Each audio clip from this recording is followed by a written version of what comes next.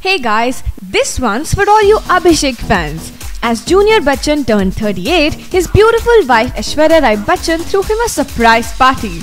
The party, which made Abhi super happy, was attended by some of his close friends, which included Shah Rukh Khan, Farah Khan, Rohan Sippy, Apoorv Lakhia, and Sikandar Kher. A source close to the Bachchans revealed that they were specially instructed by Ash to be very careful and quiet about the party. Well, looks like Abhi's better off surely did a fab job in making the party a success. So if you guys are eager to have a real life couple back on the big screen, then don't forget to like the video and subscribe to Bollywood Backstage.